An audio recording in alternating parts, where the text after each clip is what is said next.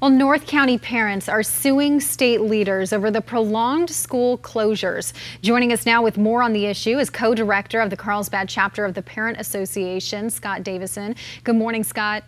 Good morning, Lauren. Well, thanks for joining us. You know, reading the details of uh, the 11 parents involved in this lawsuit and the, the harrowing stories of what their children have been going through uh, throughout this lockdown, both psychologically, physically, emotionally. I mean, it's, it's really disturbing. And so, if you can, uh, can you describe what these parents are, are, hoping for and why they think that it's the schools being shut down that's led to some of these uh, tragedies? Yeah, and, and you can see, you know, when you read these stories, and there's there's you know hundreds, thousands more like them. You see the the study that came out yesterday that showed that you know among teens, mental health, you know, crisis issues are up over 100 percent, sometimes even more.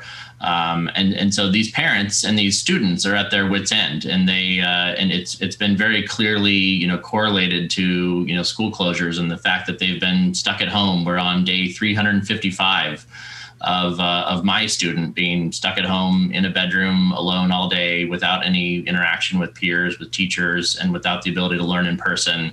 And so it's not just an academic issue; it's a mental health issue. And so you know, really, our our you know one of our main arguments is that you know these uh, California students are uh, guaranteed you know a right to an education by the state of California, and they're not getting that, you know, and and so that's you know one of the goals of the lawsuit is to return you know all of these students, especially these secondary students who've been you know locked out of the classroom for almost a year now, to the classroom as soon as possible to allow them to come back to full time five per five day week in person learning. And so, on what grounds do these parents have a, a case in this lawsuit against state leaders?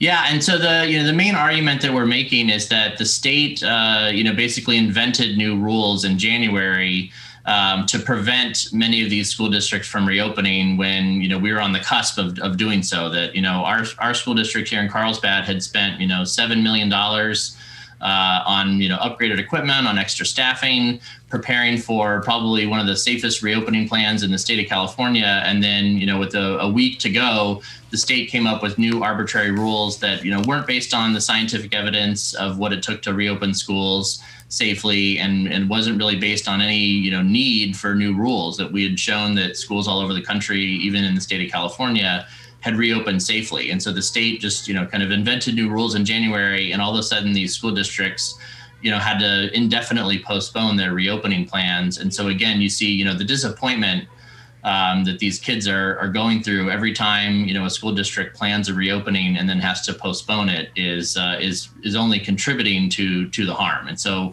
we think we can show a judge that these rules you know don't make any sense. They're not based on scientific data. They're not based on the CDC recommendations that all schools should be open regardless of the the tier that you're in uh, and, and that kind of thing. And so we, we think that uh, a judge will agree with us. It sounds a lot like the argument that uh, is involved in a case we've recently seen with the Let Them Play effort, uh, as, as far as trying to get students, uh, athletes, back on the field. It, it, sounds like that's a very similar argument. Is that something, did you seek any counsel from people who have gone through that lawsuit? Uh, do, you, do you know of any other districts or parents who've succeeded in similar efforts as yours? Yeah, and and you're right. There are some very similar arguments there, kind of under, under what we would consider an equal protection uh, argument that you know all students should be allowed the same you know right to come back to to on campus in person learning. And and what we see with the state's rules, the ones in January specifically, is that they allow some elementary school students to come back, and then they prohibit all middle school and all high school students from coming back. And even the deal that the governor reached with the legislature yesterday you know, effectively does the same thing. It only provides some students in some grades with the opportunity to come back to campus, and it prevents, you know, other students that are in exactly the same situation, you know, high school students and middle school students. And in fact, you know, we would argue the high school and middle school students are in uh, a more dire need of coming back, you know, sooner because of these mental health issues that are really only seen in middle and high school students. And uh, and so yeah, we're making the same argument that there's no reason, there's nothing, no data or science showing that schools at the high school or middle school level can't be safely reopened, just like at the elementary school level. And so, you know, we want all students in all grades to have that same opportunity. And, and, you're certainly not saying that there can't be an option for parents to keep their students at home if they feel that that's best for them either. You're, you're really just hoping for an option. And that's exactly right. That's what we've hoped for this whole time is that, you know, since the summer, we've provided any student who didn't want to return to classroom to the classroom for, for health reasons, the opportunity to stay home and learn online and learn virtually. And at this point, we have, you know, cameras set up in all of our classrooms where the students can, you know, literally listen in on, you know, their same teachers and their same classes um, without really missing a beat. And so if they if they need to, anybody who needs to can stay home. You know, at this point, we're about to have all of our teachers vaccinated by the end of the month.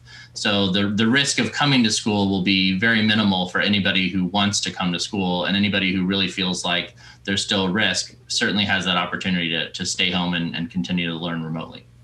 Scott Davison, thank you so much for the time this morning. Appreciate yeah. it, and I hope you'll uh, keep us updated on on your efforts in the lawsuit. Thank you. And I just would also like to say, uh, because there were four plaintiffs in this case who had children that had devised detailed plans uh, to harm themselves, that if you do see signs that are concerning, that you contact uh, your local doctor or help. The National Suicide Prevention Line is 1-800-273-8255. Uh, just very important to mention. Still